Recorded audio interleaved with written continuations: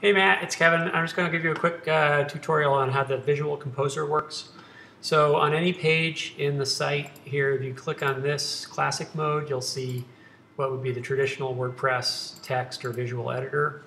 But if you click on this page builder, you'll see this plus, this little object here, and the components of the page.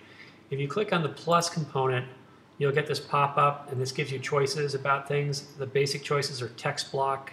Uh, you can make a row. Um, you can have a video player. You can do various things. Um, but primarily, you're going to be looking at just text block and row. Okay, so a row is this component here. Um, here we have two rows. Here's one. Here's another. If you if you click and you make a new row, then you have options to um, set them into columns. So that's a three column row, or you can set it into a two column row. You can change it after the fact. Um, these tools over here, you can delete a row, you can duplicate a row, you can edit the row properties, which include things like padding and color. Um, but for the sake of this right now on the, on the music page, I made a row here with three columns. The first, I've placed uh, a component, which is the video player, then a text block, and then I need to work on this social um, follow thing. Well, let me show you, if you want to put more bands in, basically just clone the row. It'll duplicate all the elements. So here's the video player, here's that.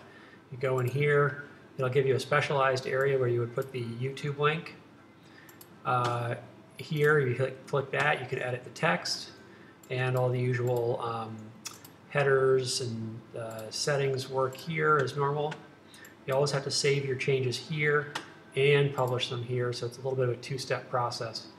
Um, if you need to, you can uh, you can drag and drop components. This can drag over here. This can drag over here. Uh, it's pretty slick. Um, so just something to, to, to play with. Uh, and that's about it. Um, for now, I think that you know I just want to get you a heads up on how that basically works, so you can you can uh, work with it. Okay, I'm going to delete that row, um, update this page, and that's about it. All right.